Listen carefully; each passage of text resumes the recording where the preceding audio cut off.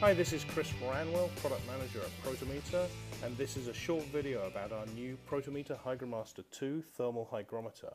This is the latest in the line of the new family of products from Protimeter and follows the same design pattern our, as our other products. This is in fact looks like the MMS2 but significantly smaller um, and it has the same control system as the MMS2 so if you've been using an MMS2 this will be a very easy instrument for you to pick up and use straight away. Actually, for anybody who hasn't used our products, it's going to be very easy to use as well because we have a very simple, intuitive uh, user interface. So you press the center button to turn the instrument on.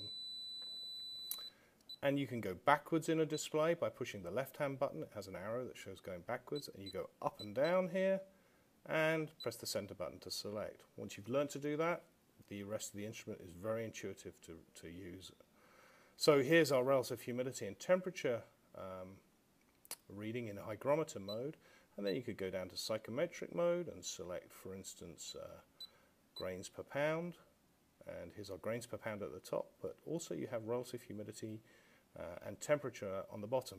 You'll notice that it's in degrees F here. Well if you wanted to change to degrees C it's pretty simple again. You press backwards, backwards, go down to settings, to units and change it to metric. Now your readings will be shown in degrees C. So very simple to use and operate.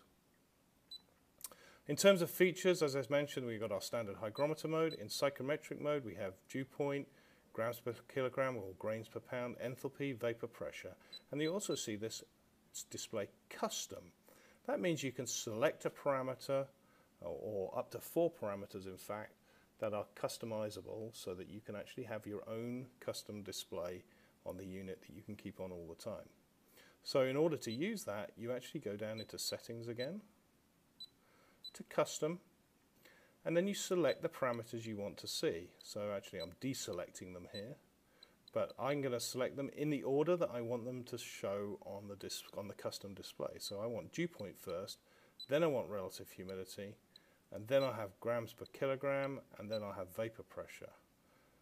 Once you've done that, just hit backwards, backwards into psychometrics and then down to custom and here's your own custom display in the order that we selected them.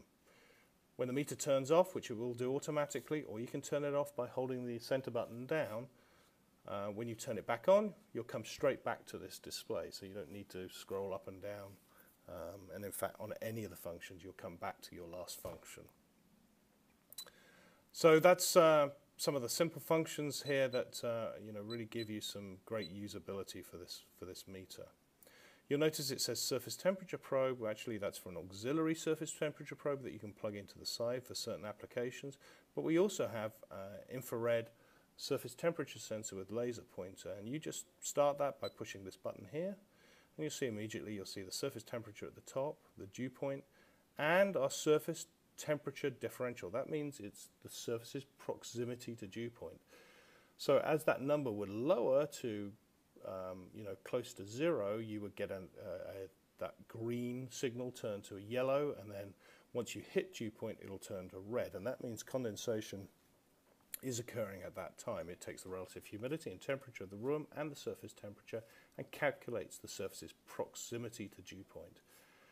And in fact, we have a buzzer on here. You can now stand in the room and shine this at the wall and when it finds condensation, it'll actually give you an audible warning as well. So very handy to look for condensation extremely quickly. If we go into the settings menu here, you can see other settings like language. We have multiple languages in here units we already went into, the custom we already went into.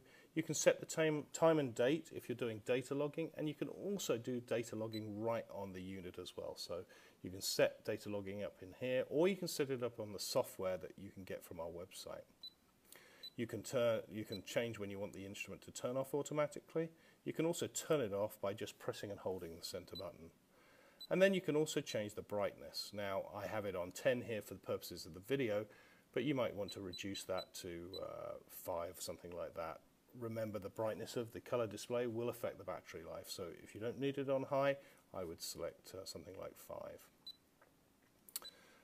Uh, the buzzer, you can turn it on and off so you don't get that buzz every time you do a key press, uh, but that will turn off the uh, condensation detection feature that I just spoke about.